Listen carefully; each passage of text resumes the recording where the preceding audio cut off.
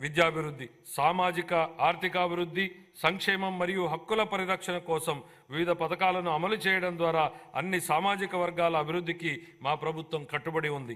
సంక్షేమానికి పెద్దపీట వేస్తూ స్వర్ణాంద రెండు వేల నలభై ఏడు దిశగా మేనిఫెస్టోలో ఇచ్చిన హామీలకు అనుగుణంగా మా ప్రభుత్వం ఎన్నో పథకాలను రూపొందిస్తోంది. మేనిఫెస్టోలో ఇచ్చిన హామీ మేరకు అధికారం చేపట్టిన వెంటనే సామాజిక భద్రత పెన్షన్ను మూడు వేల రూపాయల నుండి నాలుగు వేలకు పెంచడం జరిగింది. ఎన్టీఆర్ భరోసా పెన్షన్ పథకం ద్వారా అరవై నాలుగు లక్షల ముప్పై ఎనిమిది వేల మంది పెన్షన్దారులకు నెలకు నాలుగు వేల నుండి పదహైదు వేల రూపాయల వరకు పెన్షన్లు అందుతున్నాయి.